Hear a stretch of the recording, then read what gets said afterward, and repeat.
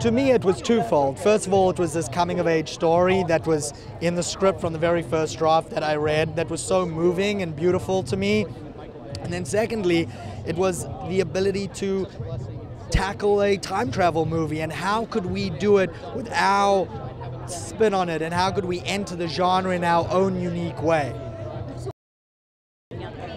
They're extremely quick on their feet. They can improvise uh, very well, and it's something that I demanded of them in rehearsal and on set every day.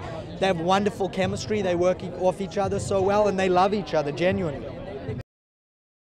I think they can expect a lot of fun, uh, a great time at the movies, and a lot of heart.